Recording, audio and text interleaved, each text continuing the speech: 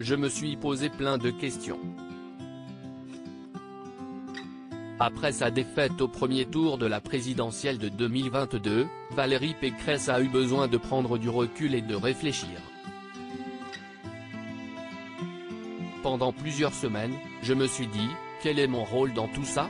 J'ai eu la tentation de changer de vie, de trajectoire, explique la Républicaine dans l'édition de ce mardi 31 janvier au Parisien. Pour trouver les réponses à ces interrogations et tourner la page, la présidente de la région Île-de-France raconte « J'ai beaucoup marché, je me suis remise au piano, j'ai fait du yoga. » Listant les urgences liées au transport, au pouvoir d'achat, à la guerre en Ukraine, Valérie Pécresse s'est dit rattrapée par la passion pour la région. J'ai été reprise par le sentiment d'utilité.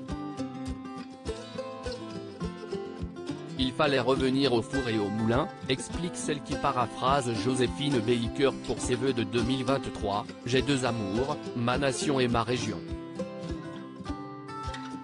Supérieur à supérieur à Manuel Valls, Valérie Pécresse. C'est politique que 2022 n'a pas gâté. J'aurais dû clasher avec Sarkozy l'une s'est révélée être une impasse. Je n'ai pas réussi à créer un espace politique entre l'extrême droite et Macron, reconnaît-elle auprès de nos confrères.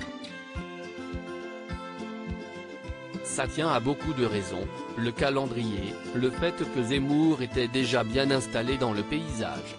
Mais je n'ai pas de regrets, pas de remords, ce n'est pas mon état d'esprit.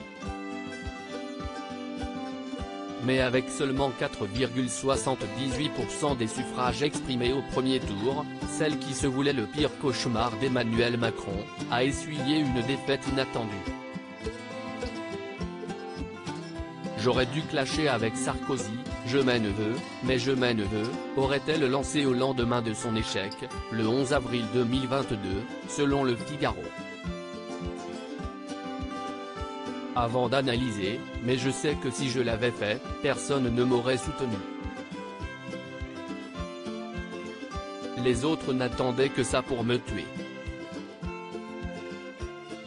Point, ils auraient tous dit, elle est nulle, elle ne sait pas cheffer ça aurait créé un bruit négatif de campagne. De là à dire qu'elle pourrait se représenter en 2027, il n'y a qu'un pas. Elle rêve de laver l'affront, prétendait un proche, dans l'OP le 15 décembre 2022.